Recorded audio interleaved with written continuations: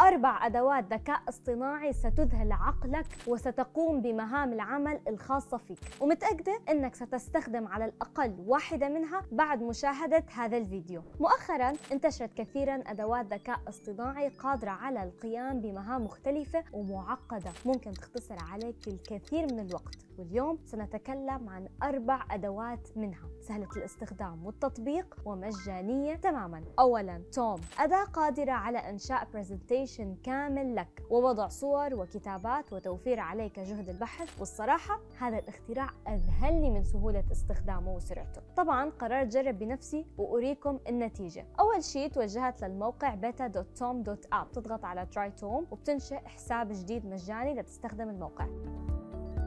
طبعا لأنه أنا عندي حساب مجاني عملت sign in وضغطت على create وطلبت منه إنه يعمل presentation عن دور الذكاء الاصطناعي في الحياة المهنية بالإنجليزي. وكانت هذه النتيجة كاملة مع الصور.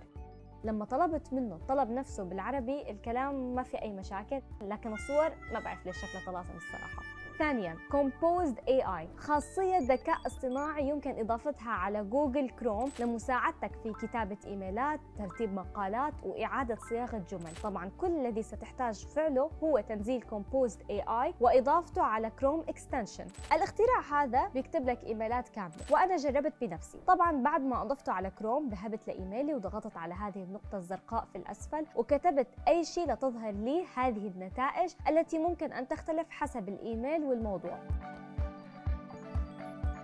Compose AI كمان ممكن يوفر عليك بكتابة الأبحاث. إذا مثلا بدك تجهز فقرة خطة للبحث ونفس الشيء جربت. أول شيء كتبت اثنين slash لتطلع لي هاي الخيارات. Outline bullet points. وأنا جربت paragraph وبثواني النص كان مكتوب. ثالثا. Murf.ai هذه الأداة بتعطيك voice over لأي نص تريده. كل ما عليك فعله هو طباعة النص وبثواني بيكون جاهز. طبعا أنا جربت بنفسي. الجميل في الموضوع أنه يمكنك اختيار من بين الأصوات واختيار سرعة مناسبة و pitch وطريقة القراءة. تعالوا نشوف النتيجة.